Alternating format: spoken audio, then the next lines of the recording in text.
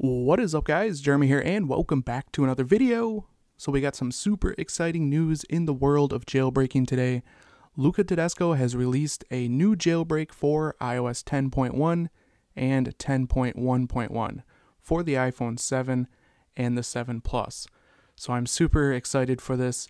It's basically going to be the same jailbreak as Yalu for 10.1 and 10.1.1. So much more stable than the Mach Portal. So you won't be having those random reboots or random resprings or bad battery life or anything like that. Uh, like I've said in older videos, for me, the problem with the Mach Portal is getting the jailbreak to uh, basically be enabled. That is the buggy part for me, but this is still very exciting for me to finally have a stable jailbreak on the iPhone 7 Plus.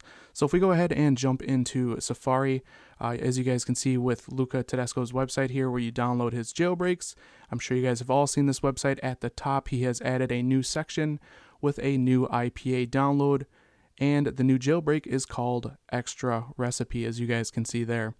Uh, now, there's one downside to this that this is pretty much beta 1 for this jailbreak. So, uh, he has recommended not to download and run it on your device as the jailbreak will not enable Substrate and it will not install Cydia.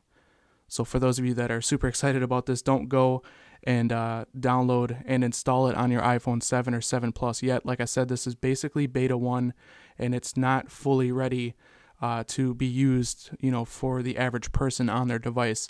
As I said, it will not uh, enable Substrate and it will not install Cydia. So we'll just have to wait, you know, for him to release the next iteration of the jailbreak. Judging by his tweets, it should be pretty soon. We'll go into Twitter here, check out his tweets.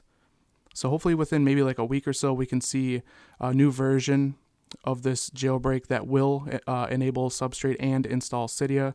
Uh, as you guys can see with this tweet right here, he says, I do not suggest using the current release if you're currently jailbroken. It's not actually remounting a uh, as R um, as RW and it doesn't run substrate. So uh, he says it right there that you know you don't really want to use this jailbreak yet.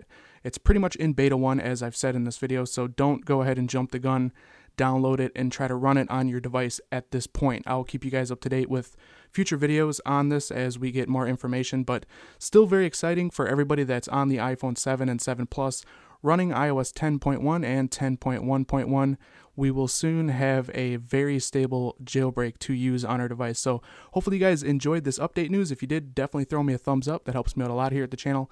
And if you guys want to see more videos like this in the future, don't forget to click that subscribe button.